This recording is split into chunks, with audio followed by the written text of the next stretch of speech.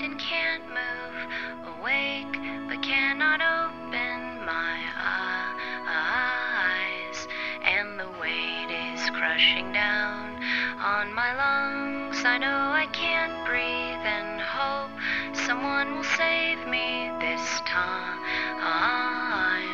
And your mind.